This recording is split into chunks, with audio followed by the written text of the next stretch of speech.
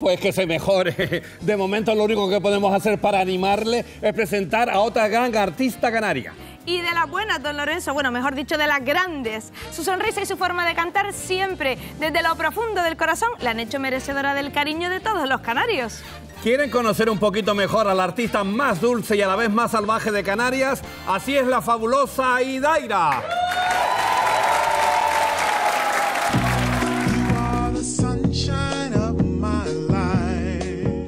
1985 nace Idaira Fernández. Desde pequeña esta entrañable y tierna niña aprovecha cualquier ocasión para demostrar que lo suyo es la música. Estaba en casa siempre cantando sin parar hasta que mi padre decía, por Dios, no, para allá. Aunque le gustara, pero bueno, que era muy insistente.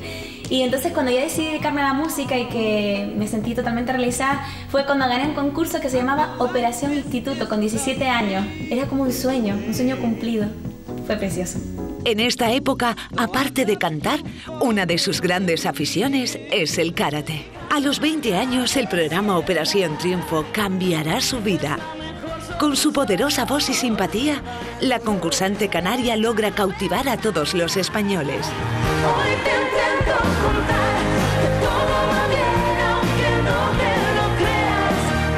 Como jurado de Quiero ser como Pepe, da una lección de humildad a todos aquellos que sueñan ser como ella. Eso fue un poco raro porque yo había estado siempre en el lado de, los cantantes, porque creo que en ese momento yo no, no podía decir nada malo, no, no me salía porque pienso que hay que impulsar lo que tiene bueno cada uno.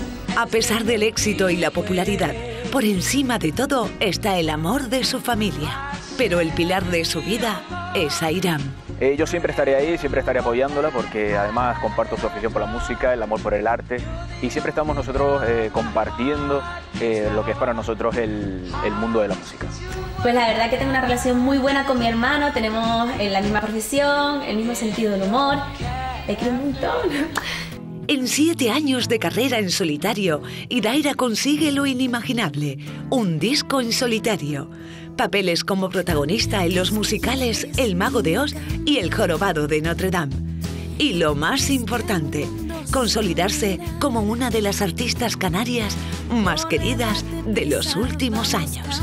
Pues me gustaría eh, seguir disfrutando cantando, siempre cantar, cantar y cantar muchísimo en muchísimos sitios, que llegar a mucha gente, a todos los canarios, a toda España, a todo el mundo.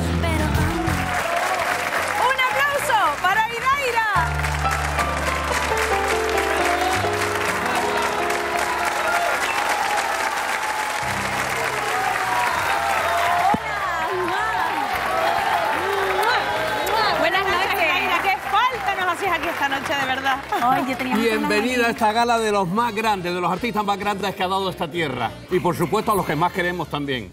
Oh. Bueno, Idaira, en los últimos años sabemos que no has parado de crecer y de crecer y ahora gracias a un pajarito sabemos que has decidido dar un paso más. Eh, que no soy yo, eh, aunque mi suegra diga que tenga cara de buitre. Eh. no, no, nos han contado que ahora, además de cantar de manera mágica, también quieres hacer canciones mágicas, escribirlas tú.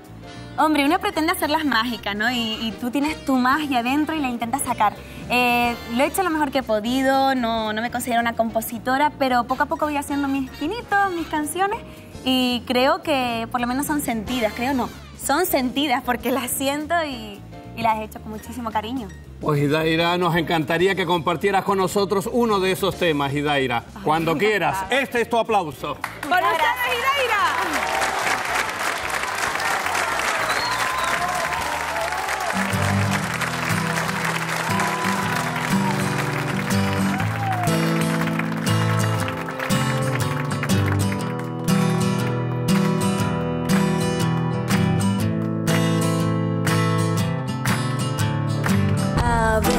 Sin darme cuenta no respiro.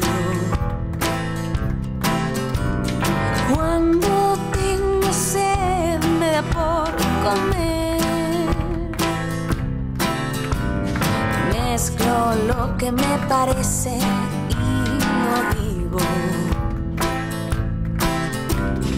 Cuentas lo que no es normal ya por cuánto va.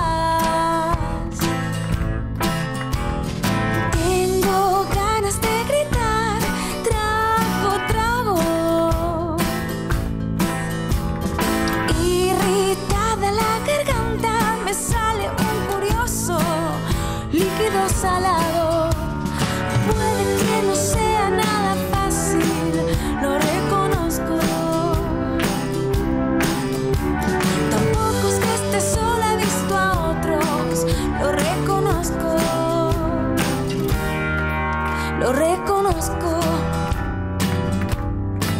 lo reconozco.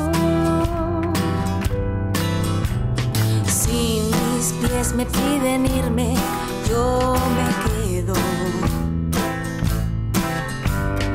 En lugar de pensar bien, me da por temer.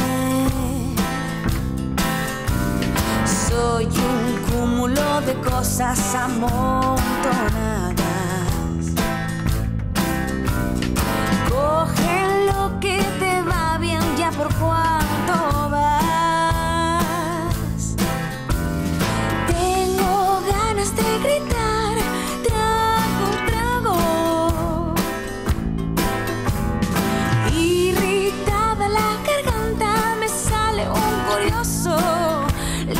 salado.